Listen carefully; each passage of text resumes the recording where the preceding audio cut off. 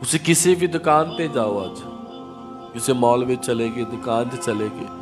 ਉੱਥੇ ਸਪੈਸ਼ਲ ਲਿਖਿਆ ਹੁੰਦਾ ਕਿ ਤੁਸੀਂ ਕੈਮਰੇ ਦੀ ਨਿਗਰਾਨੀ ਵਿੱਚ ਉੱਥੇ ਲਿਖਿਆ ਹੁੰਦਾ ਸ਼ਬਦ ਉਹਦਾ ਮਤਲਬ ਕੀ ਹੈ ਜੀ? ਤੁਹਾਨੂੰ ਕਿਉਂ ਦੱਸਿਆ ਜਾ ਰਿਹਾ ਹੈ? ਤੁਸੀਂ ਕੈਮਰੇ ਦੀ ਨਿਗਰਾਨੀ ਵਿੱਚ ਹੋ। ਉਹ ਕਿ ਉੱਥੇ ਲੱਖਾਂ ਲੋਕਾਂ ਦੇ ਵਿੱਚੋਂ ਐਸੇ ਲੋਕਾਂ ਨੇ ਵੀ ਹੋਣਾ ਜਿਹੜਾ ਚੋਰੀ ਕਰਨਾ ਆਉਣਾ ਜਦੋਂ ਉਹ ਪੜਨਗੇ ਕਿ ਅਸੀਂ ਕੈਮਰੇ ਦੀ ਨਿਗਰਾਨੀ ਵਿੱਚ ਸਾਨੂੰ ਕੈਮਰਾ ਦੇਖ ਰਿਹਾ ਆ ਤੇ ਬਹੁਤ ਥਾਵਾਂ ਤੇ ਚੋਰੀ ਵਾਲੀ ਵਾਰਦਾਤਾਂ ਘਟ ਜਾਂਦੀਆਂ ਆ। ਉੱਥੇ ਅਗਲਾ ਚੋਰੀ ਨਹੀਂ ਕਰਦਾ। ਕਿਉਂ ਨਹੀਂ ਚੋਰੀ ਕਰਦਾ ਜੀ? ਕਿਉਂਕਿ ਮੈਨੂੰ ਕੈਮਰਾ ਦੇਖ ਰਿਹਾ। ਮੇਰੀ ਚੋਰੀ, ਮੇਰੀ ਕਰਤੂਤ, ਮੇਰਾ ਮਾੜਾ ਕਰਮ ਇਹ ਕੈਮਰੇ ਨੇ ਕੈਦ ਕਰ ਲੈਣਾ ਆ। ਮੈਂ ਸੋਚਦਾ ਹੁੰਦਾ ਕਿ ਦੁਨਿਆਵੀ ਕੈਮਰੇ ਦਾ ਏਡਾ ਡਰ ਆ ਬੰਦੇ ਨੂੰ।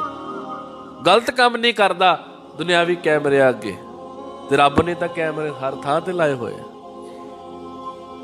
ਜੇ ਦੁਨਿਆਵੀ ਕੈਮਰਿਆਂ ਨੂੰ ਅਸੀਂ ਦੇਖ ਕੇ ਇਹ ਪੜ ਕੇ ਕਿ ਤੁਸੀਂ ਕੈਮਰੇ ਦੀ ਨਿਗਰਾਨੀ ਵਿੱਚ ਹੋ, ਅਪਰਾਧ ਕਰਨ ਵਾਲਾ ਬੰਦਾ ਅਪਰਾਧ ਨਹੀਂ ਕਰਦਾ, ਉਹ ਸੋਚਦਾ ਕਿ ਮੈਂ ਕੈਮਰੇ ਦੀ ਵਿੱਚ ਆ ਜਾਵਾਂਗਾ। ਮੇਰੀ ਕਰਤੂਤ, ਮੇਰਾ ਮਾੜਾ ਕਰਮ, ਮੇਰੀ ਕੀਤੀ ਚੋਰੀ, ਮੇਰਾ ਕੀਤਾ ਅਪਰਾਧ ਕੈਮਰਾ ਕਵਰ ਕਰ ਲੇਗਾ ਕੱਲ ਦੁਨੀਆ ਵਿੱਚ ਮੈਂ ਕੀ ਮੂੰਹ ਦਿਖਾਵਾਂਗਾ ਜੇ ਮੇਰੀ ਚੋਰੀ ਦੁਨੀਆ ਨੇ ਦੇਖ ਲਈ? ਜਿੱਦਣ ਇਹ ਗੱਲ ਸਾਨੂੰ ਪੱਲੇ ਪੈ ਗਈ ਨਾ ਜੀ ਸਾਡੇ, ਕਿ ਰੱਬ ਨੇ ਵੀ ਥਾਂ ਥਾਂ ਤੇ ਕੈਮਰੇ ਲਾਏ ਹੋਏ ਆ। ਮੈਂ ਰੱਬ ਦੇ ਕੈਮਰਿਆਂ ਤੋਂ ਨਹੀਂ ਬਚ ਸਕਦਾ। ਮੇਰੇ ਹਰ ਇੱਕ ਕੰਮ ਨੂੰ ਰੱਬ ਦਾ ਲਾਇਆ ਹੋਇਆ ਕੈਮਰਾ ਨੋਟ ਕਰ ਰਿਹਾ ਆ। ਹਰ ਇੱਕ ਮੇਰੇ ਕੰਮ ਨੂੰ ਉਹ ਕੈਮਰਾ ਦੇਖ ਰਿਹਾ ਆ।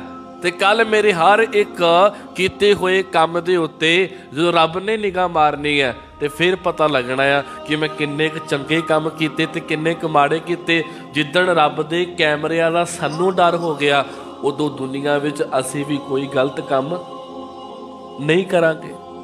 ਦੁਨੀਆ 'ਚ ਕੋਈ ਵੀ ਬੰਦਾ ਅਪਰਾਧ ਨਹੀਂ ਕਰੇਗਾ। ਦੁਨੀਆ 'ਚ ਕੋਈ ਵੀ ਬੰਦਾ ਚੋਰੀ ਨਹੀਂ ਕਰੇਗਾ। ਪਰ ਅਫਸੋਸ ਇਹ ਆ ਕਿ ਸਾਨੂੰ ਦੁਨਿਆਵੀ ਕੈਮਰਿਆਂ ਦਾ ਡਰ ਤਾਂ ਹੋ ਗਿਆ, ਪਰ ਰੱਬ ਦੇ ਲਾਏ ਹੋਏ ਕੈਮਰਿਆਂ ਦਾ ਕੋਈ ਡਰ ਨਹੀਂ ਹੈ।